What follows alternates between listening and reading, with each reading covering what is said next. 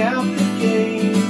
Nobody's eyes will open wide and see a brighter day.